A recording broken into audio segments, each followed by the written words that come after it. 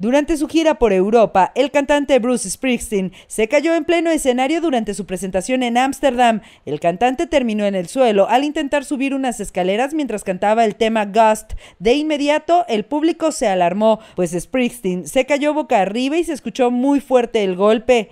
Los músicos que lo acompañan en el tour se acercaron para brindarle auxilio, pues por unos segundos el cantante no se movió y permaneció en el suelo. Minutos después, Bruce dijo buenas noches a todo el mundo y continuó con su presentación que reunió a más de 30 mil personas. Aunque el cantante no ha mencionado nada sobre el incidente, sus seguidores mencionaron que Bruce Springsteen se encuentra bien, pues una hora después se rompió la playera y enseñó el pecho mientras seguía cantando. En los últimos meses, la gira de Bruce Springsteen ha reunido a miles de fans, incluyendo a famosos como Tom Hanks, Steven Spielberg y Michelle y Barack Obama.